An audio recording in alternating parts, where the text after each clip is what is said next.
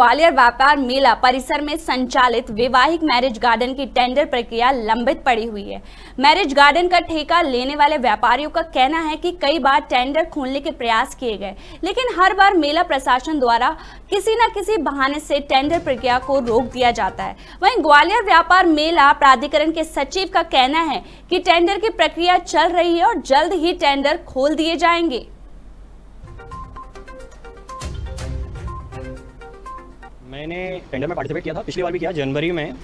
ये जानबूझ के कुछ व्यक्ति विशेष को फ़ायदा पहुँचाने के लिए दो साल से लिए, दो साल से प्राधिकरण का रेवेन्यू लॉस किया जा रहा है। जो पुराने गार्डन संचालित कर रहे हैं, आज भी उनके पैसा नहीं देने के बाद डेढ़ डेढ़ करोड़ रुपए की रिकवरी निकालने के बाद, आज भी वो टेंडर वैसे ही चल रहे हैं, शादियाँ वैसे ही हो रही हैं।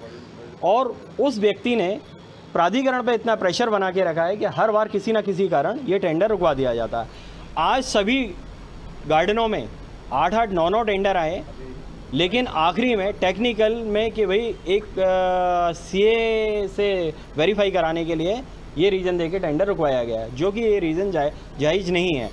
टेंडर की कार्रवाई चल रही थी और हमने टेंडर जारी भी किए थे और आज उनकी टेक्निकल खोली गई है और टेक्निकल का परीक्षण किया जा रहा है। लंबे समय से देख रहे हैं कि वही संचालक आज भी गार्डनों का संचालन कर रहे हैं।